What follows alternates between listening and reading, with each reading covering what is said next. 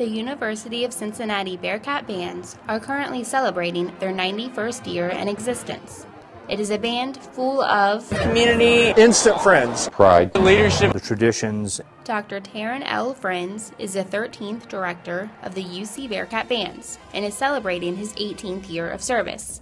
He is one of three directors. My first rehearsal had 65 students at it. Uh, now we have about 260. We ask that they perform with the marching band in order for them to also be a member of the pep band for basketball games, for jazz band, and for concert band. The UC Bearcat bands have a long history of success due to the hours of hard work and dedication each student puts into the program.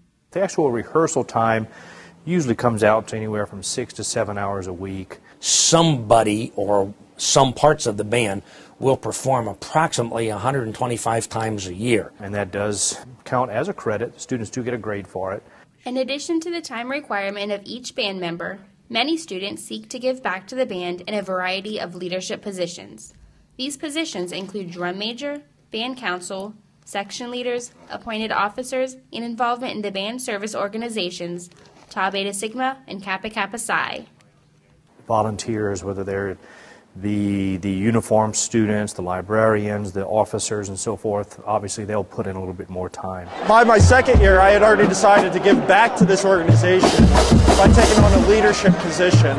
I, we work closely with the Ronald McDonald House, and I actually got to go visit the Ronald McDonald House, see how they live, what they go through, and it was a really good growing experience for me just here at the university this past year. The lessons you learn by being a part of an organization like the Bearcat Bands will will help to shape and sculpt you for the rest of your life. Being involved with a student organization is more than 50% of the university experience.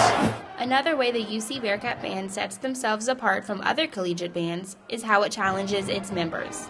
Instead of easy music and simple drill, the UC Bearcat Band plays and marches to challenging music and drill, including swing jazz. Interestingly, there are very few music majors in the UC Bearcat bands. The Twirlers are a, a special group, have continued to maintain a very high quality, high level of performance. Uh, last year they won a national championship as well as a state championship.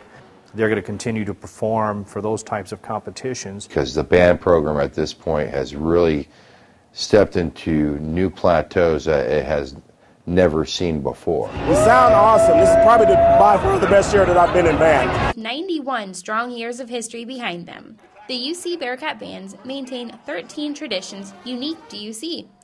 Some of those traditions include pregame uniform inspection and never taking music on the field for a performance.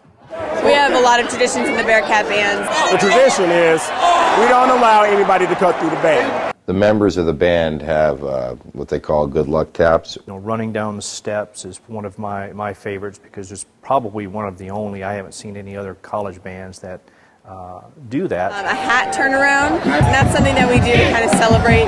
We also do a confetti toss in the air at basketball games, which is a lot of fun.